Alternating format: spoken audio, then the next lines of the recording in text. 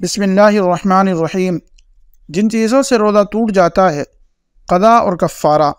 कफ़ारा क्या है और कफ़ारा कब वाजिब होता है?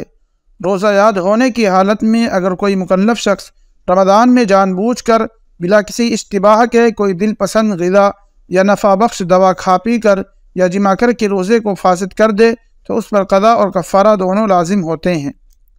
रमदान का रोज़ा तोड़ने का कफ़ारा यह है कि ग़ुलाम या बांदी आज़ाद करे। अगर ये मुमकिन ना हो, जैसा कि आजकल का दौर है तो लगातार दो महीने के रोज़े रखे, दरमियान में एक भी नागा ना हो। वरना फिर असरनो रखने पड़ेंगे। और अगर उसकी भी ताकत ना हो तो साठ मिसकीनों को दोनों वक्त पेट भर कर खाना खिलाए। अगर कोई शख्स साठ मिसकीनों को खाना खिलाने के ज़रिए कफ़ारा अदा कर रहा है तो उसके लिए तसलसल यानी लगातार ज़रूरी नहीं है, बल्कि वो मुतफरक अवकात में भी मस्किनों को खाना खिला सकता है। अगर एक ही मस्किन को साठ दिन तक सुबह शाम खाना खिलाया तो भी कफ़ारा अदा हो जाएगा। छोटे बच्चों को खिलाने से कफ़ारा अदा ना होगा, यानी जो करीबुलबलूग ना हो। औरत पर अगर कफ़ारा लाजिम हो जाए तो उसके माहवारी, यानी नापाकी के अयाम उद्र समझे जाएँगे, और इन दिनों में रोज़ा ना रखने से उसके तसलसल पर कोई फ़र्क ना पड़ेगा, मगर पाकी के बाद फ़ौर रोज़े मुसलसल रखने होंगे।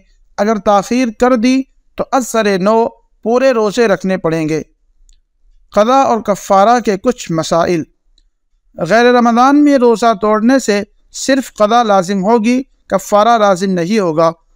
खा रोज़ा कदा का हो या नफली हो, दोनों का हुक्म यही है। अगर किसी ने कस्तन रोज़ा तोड़ दिया फिर बीमार हो गया या औरत को हैज़ आ गया तो कदा लाजिम होगी, कफ़ारा साकित हो जाएगा।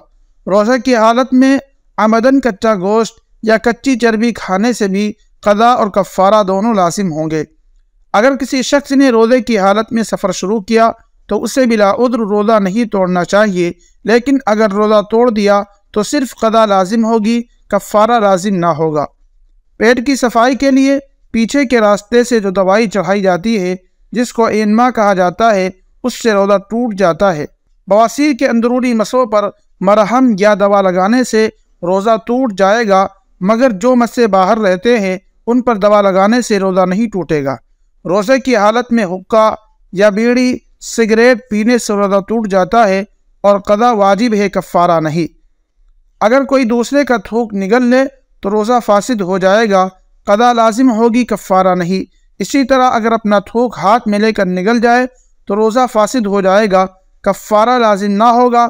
लेकिन अगर अपने पसंदीदा शख्स, मसलन बीवी या करीबी दोस्त का थूक निकला है तो कफ़ारा भी लाजिम होगा। जिमा में सुपारी छुप जाए तो कदा व कफ़ारा दोनों लाजिम है, ख्वा इंजाल हो या ना हो। रमज़ान के रोज़े में अगर औरत के साथ मर्द ज़बरदस्ती मुजामत करे तो औरत पर सिर्फ़ कदा लाजिम है, कफ़ारा नहीं। अगर रोज़े के दौरान मुस्तनी से इंजाल हो गया तो रोज़ा फासिद होगा। बाद में कदा लाजिम है, मगर कफ़ारा लाजिम नहीं, और मुस्तनी बहरहाल गुना है। अगर बीबी से बोशो किनार की वजह से इंजाल हो गया तो रोज़ा टूट जाएगा, और कदा लाजिम होगी, कफ़ारा नहीं। एहतलाम से रोज़ा नहीं टूटता, लेकिन अगर किसी ने गलती से ये समझ कर कि एहतलाम की वजह से रोज़ा जाता रहा इफ्तार कर लिया तो कफ़ारा नहीं, सिर्फ़ कदा लाजिम है। सख्त बीमारी की वजह से अगर रोज़ा इफ्तार कर ले तो उसको सिर्फ़ कदा करनी पड़ेगी, कफ़ारा नहीं। कुल्ली करते वक्त हलक में बिला इख्तियार पानी चला गया। अब अगर उसको रोज़ा याद था तो रोज़ा जाता रहा, कदा वाजिब है, कफ़ारा वाजिब नहीं।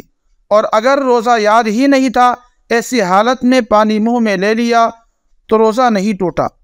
नाक या कान में तेल डालने से रोज़ा टूट जाता है, मगर कफ़ारा वाजिब नहीं होता। अगर कोई शख्स गलती से रोज़ा तोड़ दे या धमकी देकर किसी का रोज़ा फासिद कराया जाए तो ऐसी सूरत में सिर्फ़ कज़ा लाजिम होगी, कफ़ारा नहीं। पत्थर की कंकरी या बेफ़ायदा मिट्टी या घास फूस या कागज़ खाने से भी रोज़ा टूट जाता है, मगर सिर्फ़ कदा लाजिम होगी।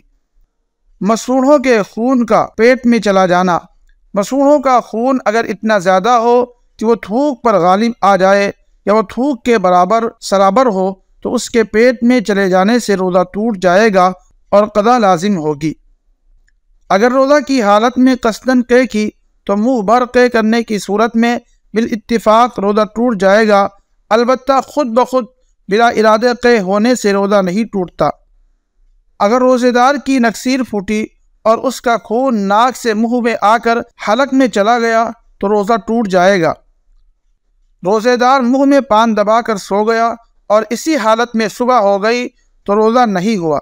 इसलिए कि सोते वक्त पान के अज्जा थूक के साथ पेट में खुद चले गए होंगे। लिहाजा बाद में कदा रोज़ा रखे अलबत् कफ़ारा वाजिब नहीं। सुबहान रबी के रबिनज़त अम्मा यसीफ़ून यसिफ़ून